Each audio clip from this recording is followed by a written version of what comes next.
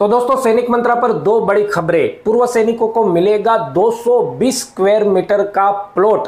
किन किन फौजी भाइयों को मिलेगा इसका फ़ायदा पूरे विस्तार के साथ बात करेंगे। दूसरी खबर, एक फौजी आए थे छुट्टी जिनका आई कार्ड लॉस हो गया और उनकी पत्नी ने उनके साथ आश्चर्यजनक व्यवहार किया। खबर वायरल हो रही है। पूरी दोनों खबरें विस्तार से आपको बताएँगे। इससे पहले मैं आपको बता दूँ कि कुछ दिनों पहले हमने आपको एक विशेष वीडियो दिया था, जिसमें हमने fire and safety officer course के बारे में बताया था।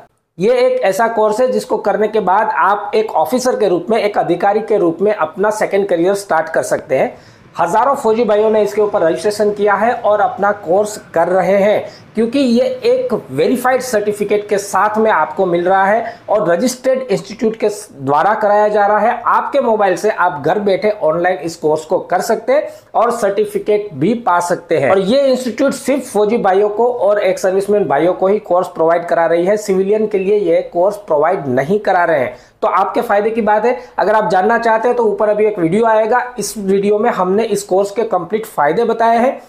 और जानकारी चाहिए तो नीचे व्हाट्सएप नंबर दिया है, उसके ऊपर व्हाट्सएप मैसेज करके आप हमसे जानकारी ले सकते हैं, या फिर डिस्क्रिप्शन में मैंने लिंक दिया हुआ है, उस पर जाकर आप अपना फ़ोन नंबर और नाम फिल करके कोर्स के लिए अप्लाई कर सकते हैं। ओके तो सबसे पहली खबर कि 220 स्क्वायर मीटर का प्लॉट किन फौजी भाइयों को मिल रहा है? देखिए, राजस्थान गवर्नमेंट के द्वारा यहाँ पर एक लेटर जारी किया गया है, जो कि 10 मार्च 2023 को जारी किया गया है।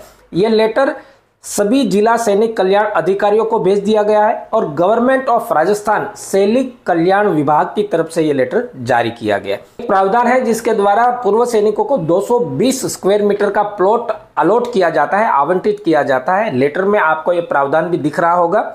अब इस प्रावधान में राजस्थान सरकार के द्वारा दोबारा संशोधन किया गया है और 10 मार्च 2023 से इसका अमेंडमेंट जो है वो लागू हो जाएगा। ये प्रावधान क्या है मैं वो भी बता देता हूँ।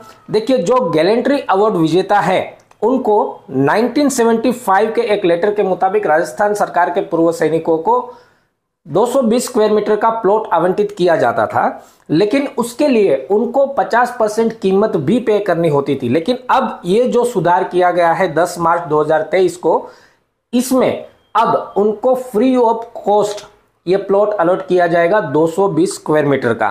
किन किन को ये अलॉट किया जाएगा, जरा ये भी देख लीजिए। जो गैलेंट्री अवार्ड पूर्व सैनिक है, परमवीर चक्र है, अशोक चक्र है, महावीर चक्र विजेता है, कीर्ति चक्र विजेता है, वीर चक्र विजेता है और शौर्य चक्र विजेता है।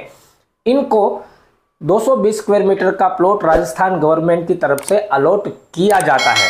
तो आप सभी को ये जानकारी पहुँचे और आप सभी इनका फ़ायदा उठा सके और अपने फौजी भाइयों के साथ इसको शेयर कीजिएगा ताकि सभी के पास ये जानकारी पहुँच सके। राजस्थान सरकार के इस कदम का हम स्वागत करते हैं और एक विनती करते हैं कि मात्र गैलेंट्री अवार्ड को ही नहीं, बल्कि सभी पूर्व सैनिकों के लिए कुछ ना कुछ व्यवस्था होनी चाहिए। और जिस तरह से राजस्थान सरकार ध्यान दे रही है पूर्व सैनिकों की तरफ़, उसी तरह से हर राज्य सरकार ने पूर्व सैनिकों की तरफ़ ध्यान देना चाहिए। आपका क्या कहना है? कॉमेंट्स करके ज़रूर बताइएगा। दूसरी खबर, एक फौजी जो के छुट्टी आए हुए थे, हापुड़ से ये खबर आ रही है। हाजीपुर थाना से, जहाँ पर मोहम्मदपुर नाम के एक गाँव में रहने वाले एक फौजी हैं, जो कि छुट्टी पर आए हुए थे। और उस समय दौरान फौजी के और उनकी धर्मपत्नी के बीच में कुछ विवाद चल रहे थे।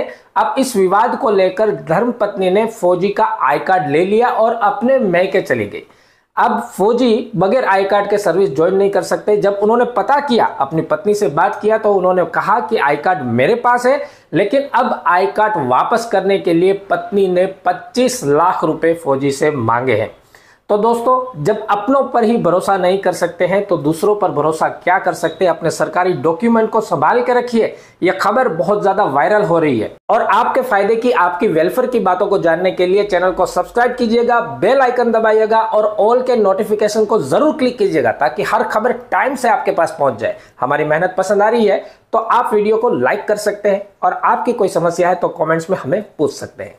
ज़्यादा से ज़्यादा इस वीडियो को शेयर कीजिएगा। नमस्कार, जय हिंद।